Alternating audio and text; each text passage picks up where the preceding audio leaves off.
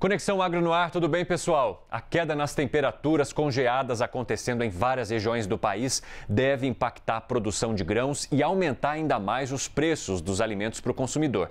A informação vem do monitoramento semanal das condições das lavouras, feito pela Conab, a Companhia Nacional de Abastecimento.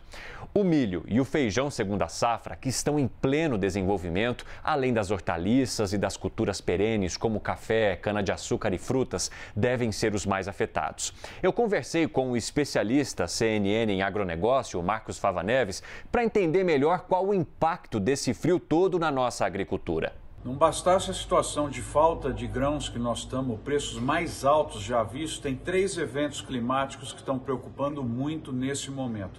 A seca sobre a segunda safra de milho no Brasil, o clima atrapalhando o plantio nos Estados Unidos com excesso de chuva e o risco de geada que está extremamente elevado nesses dias aqui no Brasil, prejudicando a laranja, o café, a cana e o milho. É muita complicação. Segundo o INMET, o Instituto Nacional de Meteorologia, a queda de temperatura e a maior intensidade de geada podem ocasionar a temperatura letal, que causa danos irreversíveis às culturas.